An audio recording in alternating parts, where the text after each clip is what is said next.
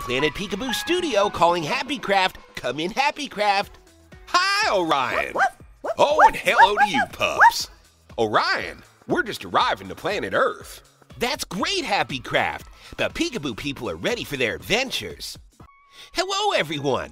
Welcome to Planet Peekaboo Studios. This is where it all comes together. Each week, a special team called the Peekaboo Crew arrive to planet Earth to explore and discover. Let me show you. Mia and Mackie love sports, music, and dancing. Today, they're learning about karate. We call this segment Let's Move It. Next, we have Artsy Smartsy. That's Rachel. She loves to uncover all kinds of different things and ways to be creative. This week, she's learning how to water paint. How colorful!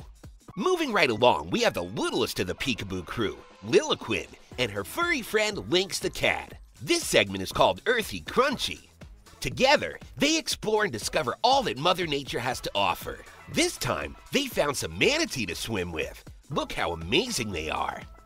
And last but never least, our wise teacher, Professor Peekaboo. He has a fun segment called What in the World? He shows interesting people, places, and things that he finds while exploring planet Earth.